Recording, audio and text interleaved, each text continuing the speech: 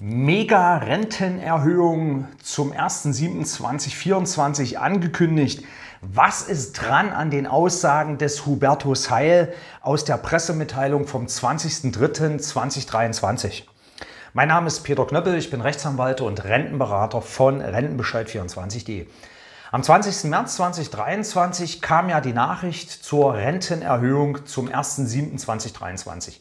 4,39 Prozent im Westen und 5,86 Prozent im Osten mehr Rente. Soweit, so gut. Ähm, Hubertus Heil teilte dann in einer Presseerklärung über das Bundesministerium für Arbeit und Soziales mit, dort ist die auch abgedruckt, dass die Rentenanpassung 2023 aktuell hinter der Inflation zurückbleibt. Das sei aber nur eine Momentaufnahme. Die Renten folgen den Löhnen, da hat Herr Heil tatsächlich recht. So stellte es auch die Pressemitteilung des BMAS zur angekündigten Rentenerhöhung dann auch dar. Der aktuelle Rentenwert habe sich seit 2012, also vor zehn Jahren, im Westen um insgesamt 26 Prozent und im Osten um 40 Prozent nach oben bewegt.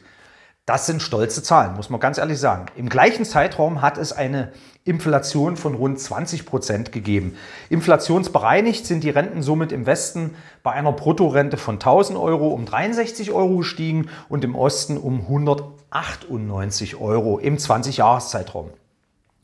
Hubertus Heil verweist für die Rentenanpassung zum 1.7.2024, also Renten folgen den Löhnen, auf die aktuell im Jahr 2023 abgeschlossenen Tarifverträge. Und diese sehen für 2023 tatsächlich beachtliche Lohnabschlüsse vor. Wenn also die Formel stimmt, dass die Rente den Löhnen folgt, müsste es im Jahr 2024, wenn wir uns die Tarifabschlüsse 2023 so mal anschauen, eine mega Rentenerhöhung geben. Wenn das Wörtchen wenn nicht wäre. Damit will ich sagen, dass das alles ziemlich spekulativ ist, was der Bundesminister da so sagen will oder ankündigen oder andeuten will. Warten wir doch einfach die Prognosen und die genauen Zahlen der möglichen Rentenwerterhöhung für das Jahr 2024 einfach mal ab.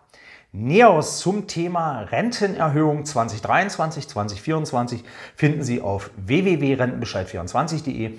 Ich wünsche Ihnen wie immer eine rentenstarke Woche. Ihr Rechtsanwalt und Rentenberater Peter Knöppel.